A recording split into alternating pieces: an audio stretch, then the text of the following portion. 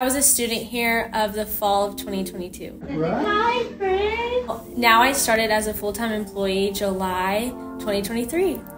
I love my first three months working here. It's been super busy, but also super rewarding. I've always just had a passion for working with kids. Um, it's rewarding, um, changes their life forever, hopefully. I love being a puzzle piece in their life. I what a lion is, but I do know what a lion is.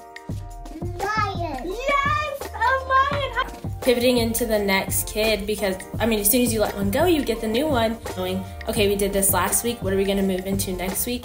Let's go to a different environment. Let's go, let's try the pool. Let's try the big gym. Let's try the small gym. Um, or maybe we need it more structured in my room.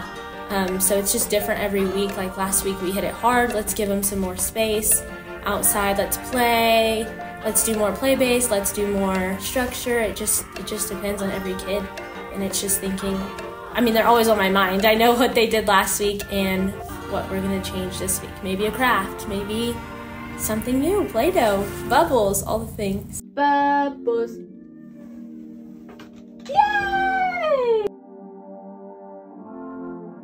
I feel like we give it all mentally, physically, emotionally, because if you're not your best, then how are we going to get those kids to be the best? I love our team because we're super collaborative.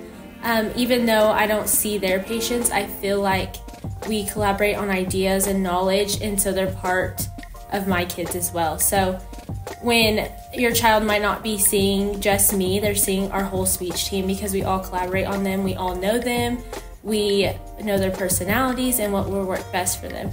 My coworkers are my friends outside of work and they're there for me. I since a, since I'm a new grad, I'm learning just life in general outside of being a speech therapist like taxes and renting homes and insurance and all these things that I can go to them for anything and it's just really important to have that as a coworker.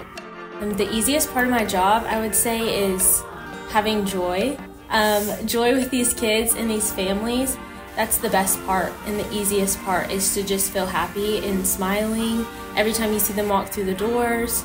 Um, when they're leaving it's so exciting just to see them again next week. Like it's really just the easiest part is just seeing growth in these kids and these families that they see hope in the end.